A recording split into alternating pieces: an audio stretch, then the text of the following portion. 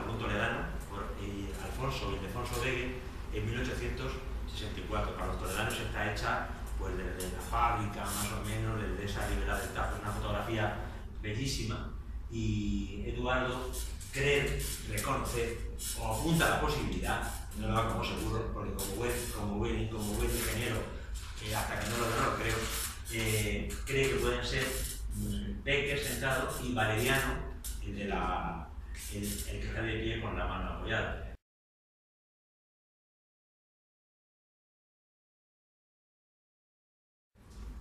Y ellos, los hermanos Becker, en, en cierta época de su vida, cuando hacían unas caricaturas en la prensa, firmaban SEM. Pero luego se ha descubierto que no solo ellos, todos los humoristas de la época, cuando querían hacer una caricatura para reírse de un político o de algo, ponían SEM. O sea, era un, era un pseudónimo colectivo. Entonces, bueno, eso se cayó ya. La segunda edición de ese libro ya los autores ya empiezan a decir, bueno, algunas pueden ser de Becker, bueno, pueden ser, pues bueno, no. Y, eso ha quedado ahí un poco en el tiempo y nadie ha sabido de qué vivían con estos dos.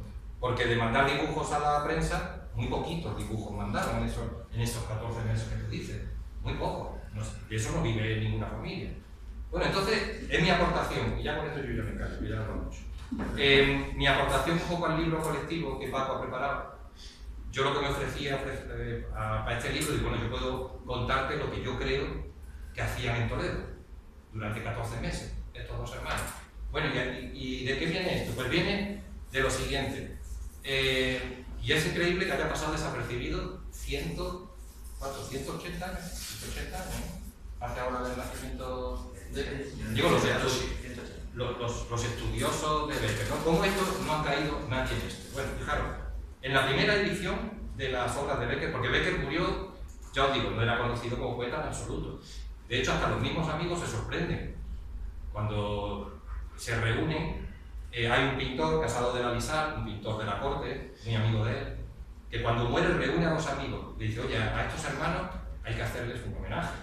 Porque no he dicho antes que los dos hermanos mueren con tres meses de diferencia. Septiembre, en septiembre muere Valeriano y en diciembre, el 22 de diciembre, muere Gustavo Adolfo Siempre juntos, están enterrados juntos en Sevilla. ¿eh? Eh, o sea, que están como quisieron siempre juntos. ¿no? Y sí, sí, sí, muy joven, murieron con 34 años. Bueno, estaba un 34.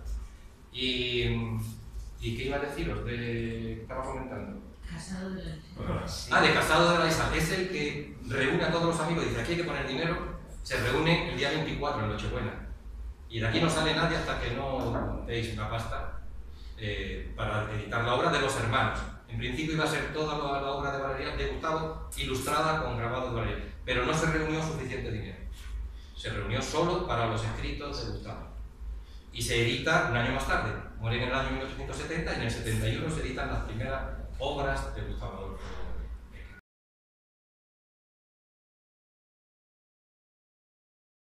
Eh, bueno, yo lo que, lo que, la intervención que he tenido en el, en el libro, también gracias a Manuel, porque Manuel, a raíz de Manuel eh, surgió toda, toda esta investigación, y el, el, germen de todo esto fue una investigación que yo estaba haciendo de, me dio por analizar la escritura de Becker y hacer un estudio grafológico. Un estudio grafológico, también estábamos preparando un, documental y a raíz de ahí me puse a buscar como loca a ver quién podía conseguirme manuscritos de Becker porque no encontraba por ninguna parte. Entonces me puse a contactar eh, con Agustín, le contacté también, buscando biógrafos de Becker por todas partes para ver quién me podía dar la pista de manuscritos de Becker para hacerle un estudio grafológico.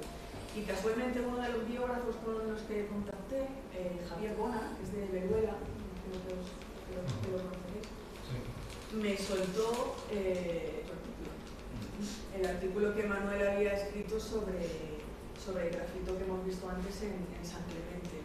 Entonces, claro, al final la, la, la, investigación se ramificó en dos. Por un lado, quería hacer la, el estudio grafológico para ver la personalidad de Becker pero por otro lado me picaba curiosidad de ese grafito si sería realmente de Becker. Aunque Manuel en su artículo ya decía que, que habían hecho con una grafóloga, con una perito, una investigación, eh, además casualmente contacté con él y me llamaste inmediatamente o me dijiste, sí, llámame. estaba yo con hacker además. Y... Sí, me dijiste, llámame y dijo, nunca amable este señor. y me dio un poco el pie de decir, que esto no está publicado, vía libre. Dije, no, no, hicimos un estudio somero, confiamos y creímos mm, plenamente que era suyo, pero no hay nada oficial hecho. Entonces, nada, ya me, ya me, ya me, ya me, claro, nada, me, me, dio pie y ya me, vamos, con unas ganas tremendas me puse en faena para, para hacerlo. Eh, también investigando a Baker, curiosamente me encontré con esto. ¿vale? A los grafólogos nos hace mucha ilusión que, para los que piensan que la grafología es algo de hoy, pues que autores como por ejemplo Baker supiera que existía la grafología. Eh, esta frase aparece eh, en, un, en, uno de sus artículos, escrito para un periódico, que se titula Un boceto del natural. Una chiquita que deja ahí una nota escrita y él empieza ahí a hacerse ilusiones de cómo será esta chica por sus letras, no sé qué. Y luego era, es tonta. Luego era tonta, pero tonta. Pero, pero ¿Sabes? Sí, qué interesante esta chica, ¿no? Qué interesante cómo mira y al final dice, ¿Cómo mira? Claro, y empieza a preguntarse, ¿y con estas letras cómo será? Y tal, ¿no? Entonces hace reflexiones sobre cómo sería, pues, escritura la... Julia se llamaba también. Yo creo que había una especie sí, de sí, sí, él le dice Julia. Había una especie de doble... Y dos hermanas. Sentido. Sí, sí, había ahí una especie de, de, de pullita de toda Julia